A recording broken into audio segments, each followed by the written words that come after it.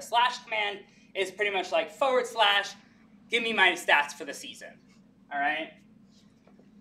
What that's going to do is it's going to go ahead and uh, go into when, when you go into Discord here.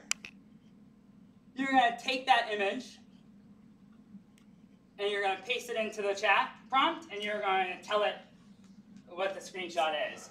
It takes a couple of seconds of processing. Once the actual custom object detection model is available, it will be a lot faster. We're talking seconds, not above 20 seconds. It is going to return a Rust data structure. And that is at the, the where we got to for uh, the event. However, this data structure is very uh, usable in terms of uh, JSON, like serializing the JSON data and then going ahead and printing back the exact scores. Um, as we can see, we have all of, some usernames here displaying and their score, kills, deaths, and assists. All right.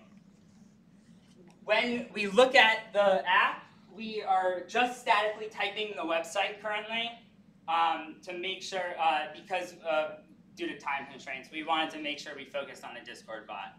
What type of hurdles were we uh, facing, uh, Clayton, during this project? Originally, we were struggling with Tesseract OCR, which is a Python library um, that pretty much scrapes data from images. We were getting inconsistent results, um, and ultimately it was hard to find universal crops for the scoreboard set, which is why we were thinking about going the machine learning route uh, ultimately that'll be more applicable to more games for more organizations later on down the road. How are we going to monetize it? Through Discord servers. Discord has its own bot monetize, monetization system where servers can automatically pay for it. And ultimately, that money won't be coming from the users, but the organizations who host these tournaments. Um, yeah, and ultimately, this is a much bigger idea and a much bigger software because this is going to be able to uh, send uh, stat, stat, not only stat tracking, but also uh, the ability to do scheduling. How are we doing on time, by the way? You are at five minutes, so if you Perfect. want to transition and. Thank you very much, and I'll leave it open, the floor open to some questions. Sure, yeah, all right. So um, let's dive into how important uh, this looks like a standard, yeah, standardizing uh, performance, and you mentioned scholarships. Can you uh, dig into the importance of those two and beyond? So, yeah, stats and Absolutely. So schools will track stats. Sorry. Schools will uh, track stats uh, as pretty much like a performance evaluation. So when schools are allocating money to coaching, to players themselves, to other resources that help boost the, uh, the esports scene itself, production, things of that nature. Um, these stats re really help them. You know, it's a selling point for teams. For sure. Stats drive, numbers drive everything, right? And ultimately, when you have a high performing, high KD ratio, a kill death ratio for these players, well, the more you kill people, the more you're probably going to win. It's not maybe directly related, but there is probably a relationship which we're collecting all of that data and we will be able to show those relationships, even going potentially as far as like finding relationships we didn't know existed in terms of ping. Like, is, is anyone lag switching? Lag switching is a thing these days. Ultimately, you just turn your Wi-Fi off for a second, you shoot the shot, you turn it back on, and that bullet lags to the kill. I'll pass it on in a second, but uh, just trying to concisely understand the value. So basically, uh, this helps us understand how good someone truly is. Yes. That seems to be a challenge in the marketplace. Okay, thank you. Yeah. Any other questions? Competitive uh, landscape? Competitive landscape is uh, they're they're still entering screenshots uh, or statistics manually into a spreadsheet for a reason because no apps, no to some extent, companies exist that are doing this currently.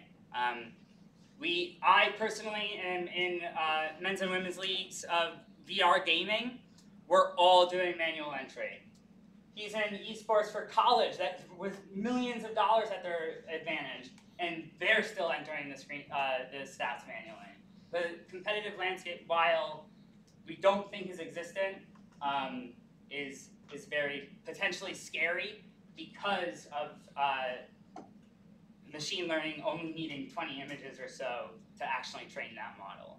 Um, so, does that answer your question? How did, how did the themselves look at this? Um, so, uh, uh, blunt answer is I don't know, but they don't share our, the data with us. Right, no API. No API. The only way we would be able to do it is proxy that data, that traffic, open up each packet, sniff it, figure out what it is. Thousands of lines of code later, figure out that that's the score, and uh, you have now spent two hundred dollars on extracting game data from. Exactly. Ultimately, games use um, encryption as an anti-cheat method, so they mask their scores, they mask all of the data so that can't be manipulated in the middle. Yes. Speaking of which, uh, just generated a question, right? Like, how do you prevent manipulation of one's own stats? So it- we're yeah we're going to be able to classify the model in terms of uh, taking sample sets and actually photoshopping new image, uh, numbers on that image and being able to see that pixel differentiation of saying this has been manipulated or not. We know exactly what these screens look like. We can easily identify that um, there's there's uh, tampering with these uh, screenshots and numbers. And most, uh, at least for VR, you're gonna be able to analyze some metadata that you're not gonna have in from Photoshop that is is gonna be there. Like most people aren't gonna go to scrape their metadata off the image and uh, I think these are multiplayer games, right? yes, So and multiple more, screenshots. more than one screenshots coming in. Yeah, So so that, hard to manipulate. the the match ID is gonna be able to deduplicate that data. round of applause for Team Red. Volunteer to get a second. Yeah, Jett will go. Up next, we got Jett, Team Jett. Jett with how many T's? Two T. That's right. Five minutes.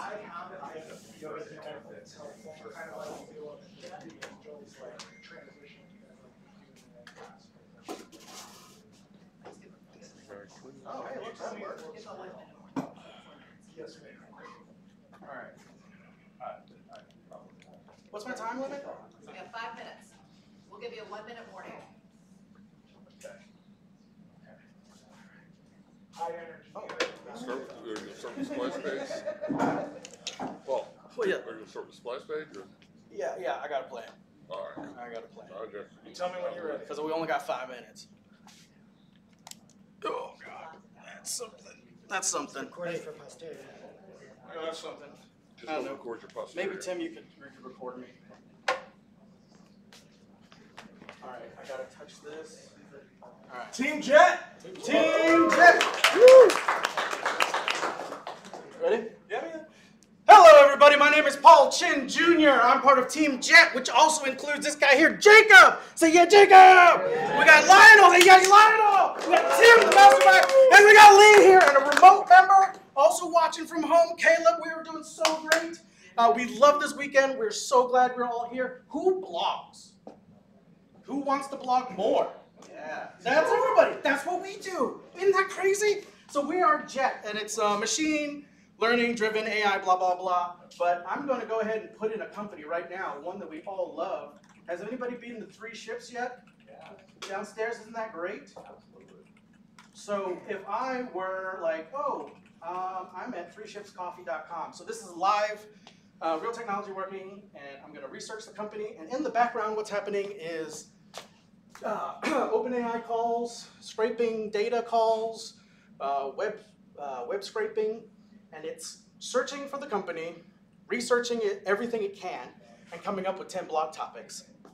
And the magic is once you have these blog topics, it will provide you with some feedback, and then you'll say like, oh, blog topic number two or three looks better. From that, we generate personas, and that's where our kind of uh, big value add is, is in these personas. It's like if you're working with an agency and you had like a little digital virtual assistant writing for you. Um, and who's used ChatGPT, right? Everybody? Who's using them to write blogs? Okay, how, how are you finding it? Generic. It's okay, it's generic, right? So how do we continue to make it better and better and better? That's what we're doing. We're taking what, what we know about your business, what you've told us, just in very short, like just a website and your vertical. And then the, the model will take over and through these writing personas, we'll be able to generate a full-on blog post about coffee. And then the best part is publish. It'll connect directly to like a blogging platform or your Notion API or some others like Substack. So let's go back to uh, what it has done. So give me a number 1 to 15. Anybody? 11. Limited edition flavors. Exploring Three Ships Coffee's unique Pungo syrup releases. Does Three Ships Coffee have Pungo syrup? I'm not sure. I'm It sure we does. can check. It does? Hey, there we go. We came up with a contextually correct blog topic. And so uh, from here, we go into the parts where like uh, the teammates had made. So if we were to put in Three Ships Coffee here, uh, this is hidden. This is directly with like a nicer interface, right? This is the less powerful kind of back end, but with the better looking interface. And so the other one is the more powerful back end with a terrible interface. But just in two days, we put them together, and we're here to show it off, and we are super excited. So you may be wondering, well, where's the validation? Well, I asked for any company, and I got a list of 128. Then I threw the actual companies as a batch process through my back end, and it created 10 headlines for every company, and then we emailed that. We got two responses! Hey! Woo! This morning. So I didn't in the email we didn't mention it was AI generated. We just said, hey, we're at Build. We'd love your feedback. Here's 10 free topics. What do you think? And they were specifically tailored to their businesses. And so we had two responses that that sounds really good. What do we do next? What do we do next? That, they asked me that. What do we do next? Well, I'll tell you what we do next. Uh, we finish out this competition super strong. We're showing that we can uh, continue to integrate with like doing the actual publishing. One minute. Thank you. One minute left means I'm actually showing off, you know, our powerful back end, our powerful front end, being able to have these personas. Right, business, business, business, business. How do we make money? Nobody knows. Don't lie. Don't. None of you know how to make money. And I'll tell you what I think we could do. These personas. How many people have a Spotify playlist? How much you love that playlist? Yes. What's gonna keep you like? How do you get that playlist out of there? Personas. You work with your persona. You keep it. It's yours. You love it. You pet it. You feed it. It's doing so many things for you. You're collaborating with it. Jett allows you to be more human with the AI. So when you want to leave Jett, you can't because we got the personas. That's the data gravity. That's the data model recurring revenue forever because you want your jet assistant. And with that time, Nine seconds. Good job. thank you all.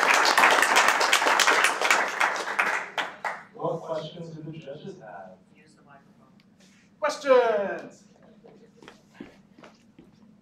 I can do business or technical, either one. I built the back end, very proud. I'm, I'm, uh, a bit duplicative here, uh, Meta Landscape, who else is doing something like this? Lots of people.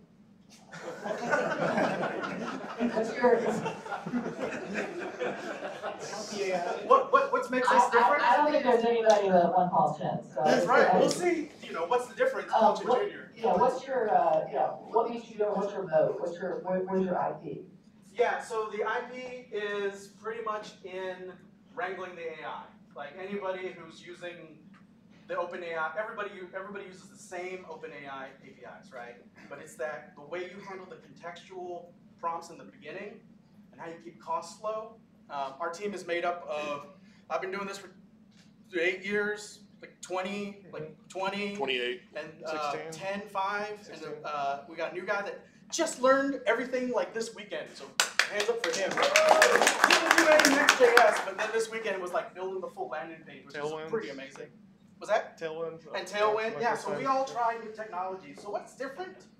I think this team can just put together exactly what is needed at the time that it's needed because we're all using the same APIs.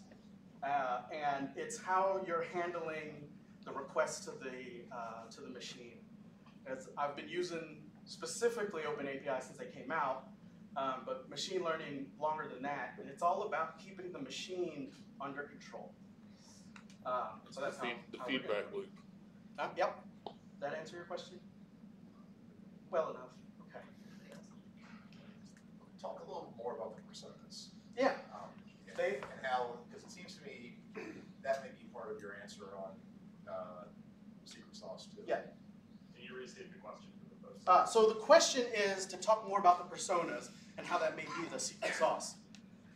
Uh, the vision for the personas is, you know, once we have a contextual idea of what your company is, and then your user e- feedback on the tone of the titles and the topics, that is just smashed together, and then personas are generated out of that. And so, for example, with the coffee shop, uh, we might have a writer persona that's uh, much more about uh, lifestyle and traveling, or you want a different one that's going to be more focused on being productive while you're at the coffee shop, or maybe you want to go full technical like flavor bible about uh, the, the beans. Uh, the personas are generated based on the context that it already has. So the persona that you get is going to be purely unique and different than every other persona that all the other users get. And even if you were to put it in like a second time, you could get a different persona and then steer it that way. So you could have one writing assistant that just does like blog posts, right? And that's what we, what, that's where we've steered it right now. If we, uh, we had a screen that was like shorter or longer, uh, it can be extended and your persona can be morphed with a new one that says like this is a Gen Z TikToker and this one is a B2B consultant, you know, and you can have them all in your playlist, so to speak. I do But want they to are add generated, that yeah. those personas are persistent to you, so they grow with every Yes, time they write. they're They part get of better you. at writing for you as they go. Yeah, You so keep, that, you keep your business knowledge internal and grow it as opposed to it being a physical person that could walk out your door at some point. is that, is that good? What's, what's your go-to-market strategy? Are you, are you just gonna random? Go-to-market How strategy? do you- Who's your, who's your target? Right now, our go-to-market strategy has been uh, other startups that are in the area uh, that have a relationship with this particular institution. Uh, they are folks that are still trying to find their own product market, and uh, I feel like collaborating with them uh, because everybody kind of needs extra content like funneled and dripped. Uh, and I think that we'll get a lot of good like back and forth feedback from those folks, especially since they already got two. Like I just cold Three, emailed them. you three, know? you got my Yeah. company. Oh, as three. We got three. Yeah, they just keep coming. You Yeah. know, by just they just we just offered them. You know, what do you think about these ten titles? A product like this has a very large applicability in the political consulting field. I was just going to say, there's an election season happening, and there's a lot of people who need content. I, Every I, year in Virginia. I, I, I, yeah, we yeah. I, I remember the, the, the robocall days. Yeah. What's uh, the headset? What's the old headset? Oh, this. Yeah. This, folks, is a uh, Tiger Electronics R Zone portable gaming system from 1992. It is, it- he needs it fixed and to work if there's any innovations in the house. What? I mean, I don't. It helps. Yes. I don't have Okay, my laptop doesn't even hold a charge anymore. So, thank you very much. That's Jett with two T's, because two T's is. That's right. That's right. But, but if we win, he's a third of the way there to getting a new headset. You uh, volunteer to go next? All right. Excuse me, Paul. Oh, yeah, yeah. I definitely